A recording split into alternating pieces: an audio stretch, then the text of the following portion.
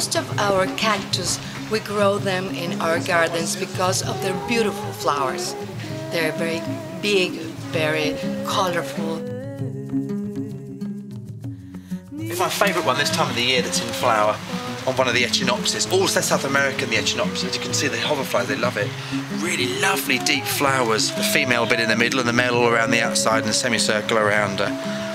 The sun's not out today, but usually they've got a vanilla fragranty sort of smell. Really nice. An example of what I've said about like stunning flowers is these echinopsis here. The flowers unfortunately don't last that, that long, so this one was open yesterday and now it's gone.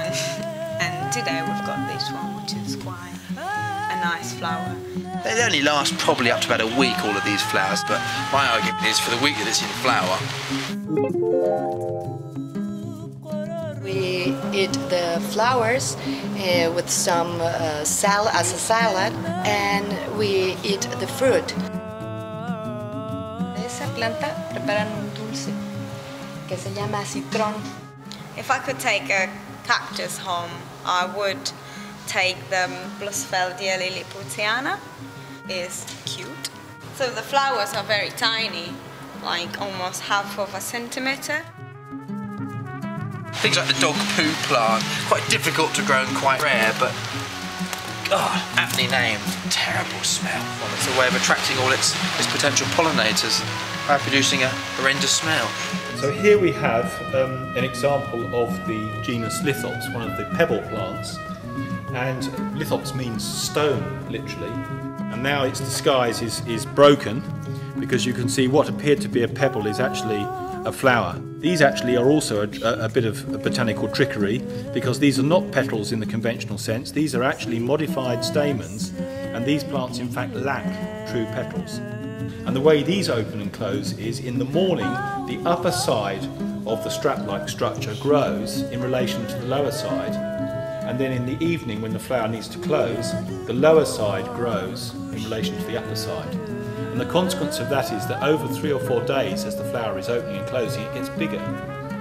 So the flower is often twice as large at the end um, of the flowering period as it was at the beginning.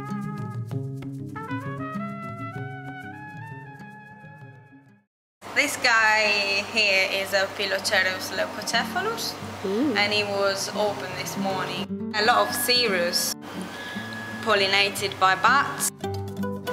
He'll open tonight, will he?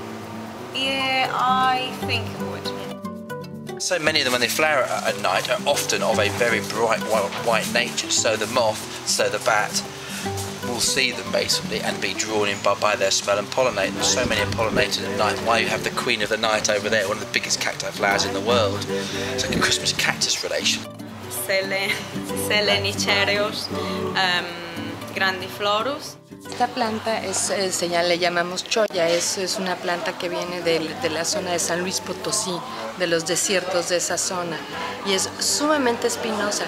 Las espinas son muy agresivas, pero da unas flores muy, muy, muy grandes, amarillas, muy vistosas, que ayudan a la polinización de otras especies.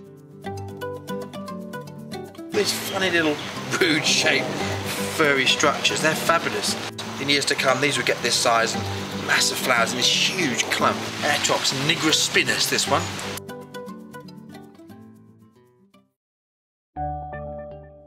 You can visit Tom's impressive collection of cacti and succulents in his World Garden of Plants from April to September.